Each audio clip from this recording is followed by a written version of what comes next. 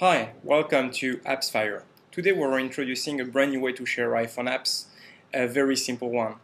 You're going to be able to create a virtual iPhone widget with a selection of apps with just one click. All you have to do is find a web page including uh, iTunes links of iPhone apps, copy that uh, URL and paste it uh, on our page. You can also additionally uh, add manually uh, uh, other iTunes links and just click uh, make widget.